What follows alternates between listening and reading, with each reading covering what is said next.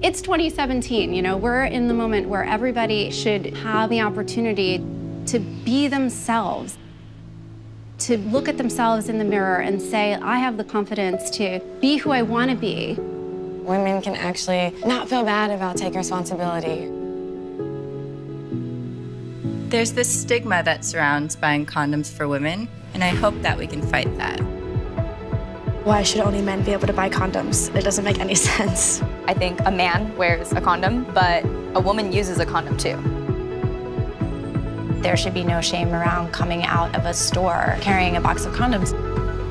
We've been working on this for four years, and it's really unlike any other condom. It's intimate, it's sophisticated. It's just an incredible opportunity for us to change the rules.